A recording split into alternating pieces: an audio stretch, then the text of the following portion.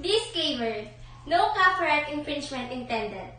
The photos and the information the presentation contains do not belong to me, and the owners are rightfully credited in the references by the end of the presentation.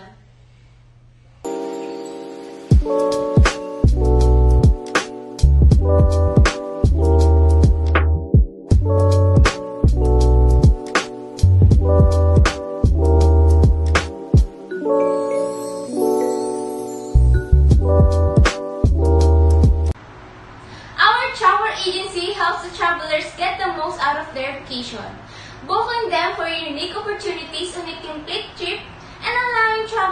get experience. And I will show you a travel arrangement about this wonderful attraction in Bataan. The remains history, culture, preserved architecture, and sensational of a local Filipino. Introducing Bataan!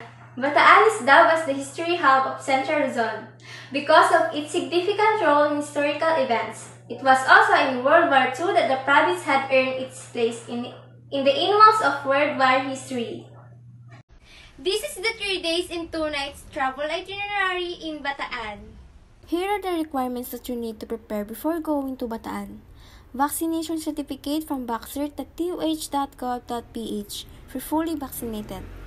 For fully vaccinated individuals are exempted from presenting a negative COVID-19 test. They should present a vaccination certificate from vaxcert.doh.gov.ph. Secure a negative RT-PCR test result for unvaccinated and partially vaccinated. All unvaccinated and partially unvaccinated travelers must secure a negative RT-PCR test taken 48 hours within their arrival in Bataan. Book at accredited Bataan hotels and resorts. A booking confirmation with any of, of the accredited Bataan hotels and resorts is required when going to the province.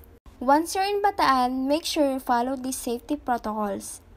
Minimum health standards, mask and face shields.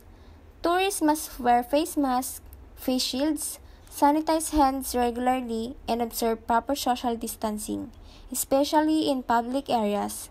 This is to help combat the spread of COVID-19. Departure varies between 5 a.m. depending on traffic forecast and season. Exact time will be provided before your trip. 3 hours via MacArthur Highway. Day 1 at 5 a.m. Tourists will arrive at Las Casas Filipina de Acuzar. Las Casas Filipina de Acuzar is an extremely beautiful place where you can learn a lot about Filipino culture and history. It has so much to discover and to do. You can easily be busy for 3 days or more, or just enjoy their beautiful and clean beach. Next stop is Boat People Museum, a very memorable place for refugees of Vietnam War. Though this place is stuck in the winding roads of Morong Bataan. Lunch will be held at Laling Sutiwan. You can find out the best special and best-selling dish Hutio, a hearty noodle soup that's more Chinese than Vietnamese in Morong. Giving guests a special noodle soup that will surely satisfy their appetite. Afterwards, the tourists will be going to Our Lady Pilar Church. Pilar Church it has brick walls that make its facade very attractive. This was built since the 1740s and withstood severe earthquakes and man-made disasters. Truly a great work of art, Our Lady Pilar Church is a wealth of history and culture. Pawikan Conservation Center, located in Barangay Nagbalayong, is a home devoted to raise awareness about the preservation and propagation of endangered marine turtles, aptly called Olive Ridley. The coastline where the Pawikan Conservation Center sits is placed to the original nesting sites of these endangered species. It is managed by the people who used to be poachers turned into protectors of these sea creatures. And aside from that, the Japan-Philippines Friendship Tower is a historical landmark located in Bagac, Bataan. After years of strife and savagery during World War II, the Philippines surrendered to Japan to establish friendly ties. And in 1975, the Philippine-Japanese Friendship Tower in Bagac was inaugurated. A significant part of the Philippine history, this is one of the top tourist spots in Bataan. The tourists will dinner at Crossroad Restaurant at Bagac. 8.30 p.m. back to hotel and rest. Day 2. The wake-up call is 7 a.m. in the morning and the guests may take full advantage of the hotel's free breakfast. To continue the tour, Mount Samat or Dambana ng Kagitingan. On our second day, we must visit one of the country's most iconic landmark, as well as one of the tourist attraction in Bataan. In early 1942, Mount Samat was the site one of the bloodiest battles between the Allied forces and the Imperial Japanese Army during the Battle of Bataan. After Mount Samat or Dambana ng Kagitingan, tourists will travel to Mount Samat War Museum. One of the most interesting highlight of the War Museum is the huge diorama of Bataan depicting the events during the Second World War. And next stop is Dunsulan Falls. It's an aesthetically pleasing waterfalls and likely the most accessible waterfall in the province of Bataan. It really does make a great follow-up to your visit to the top of Mount Samat. Located at the right mountain's foot, and it is refreshing at least as much it's enjoyable. Then at 12 noon, visit the Aling Milas Mami and Goto at Pilar. Goto, also known as arroz caldo con Goto, is a Filipino rice and beef trap gruel cooked with ginger and garnished with toasted garlic, scallions, black pepper, and chicharron. It is usually served with calamansi, soy sauce, or patis as condiments, as well as a hard-boiled egg, and it is type of a lugaw. Then after lunch, Tourists must visit the zero-kilometer death mark marker, Bataan's most gruesome piece of history, a testament to one of the most gruesome parts of Philippines' war history.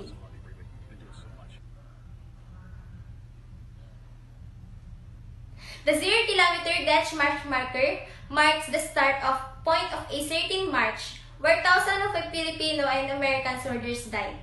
During 200 meters from the Philippine and Japanese Friendship Tower in Bagak, the first of 138 death march markers can be found. After a long tour, the tourists will dinner at Magpay Sinampalukan Lechon Manok at Bagak. And at 8 p.m., the tourists will be back to hotel and rest. Of tour, you will have your breakfast first at your accommodation. And after breakfast, proceed to check out. Ate Souvenir Shop by Tita Feli is a famous souvenir shop to buy souvenirs before you leave in Bataan. And the tourists will lunch at Fernando's restaurant. At 4 p.m., depart for Manila. And 8 p.m. is estimated time of arrival at Manila. And that's the end of our tour from Bataan. Let us now proceed to the tour costing of our group package for 3 days and 2 nights for 40 pax. For the transportation, the tour bus you will be paying cost 1,120.53 pesos per person. For the accommodation, you'll be staying at Las Casas Filipinas de Acuzar. Net, net rates are based per room, inclusive of taxes and subcharge, with the amount of 9,722 pesos. And for the entrance and environmental fees, the other local destination is free. For the Pawikan Conservation Center, cost 30 pesos per pax. Philippine-Japanese Friendship Tower cost 800 pesos per pax. Mount Samat or Damban Kagitingan cost 50 pesos per pax. Mount Samat War Museum 20 pesos per pax. And Tree Hopping Adventure and Dunsulan Falls cost 400 pesos per pax with a total of 1,300 pesos per person. And please be reminded that the rates are subjected to change without prior notice. And for your food, your lunch at Aling Milas Mami and Goto at Pilar cost 500 pesos per pax, while your dinner at Crossroads Restaurant cost 500 pesos with a total of 1,000 pesos. And for the local tour guide fee, you'll be paying 200 per head. Souvenirs cost 150 pesos. And for the miscellaneous fee, we have contingency fund cost 150 pesos.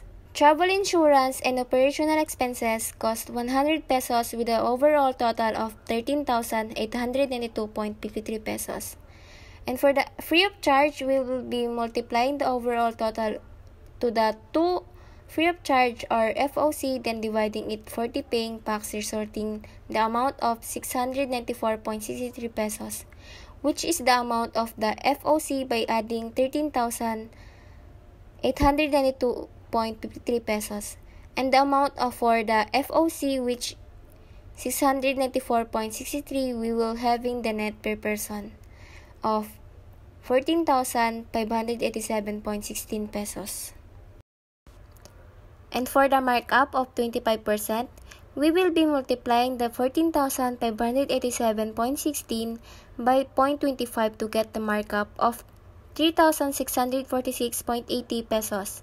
Now for our selling price, we will be adding the net per person, which is 14,587.16 plus markup 3,646.80 to get the selling price of 18,234 pesos.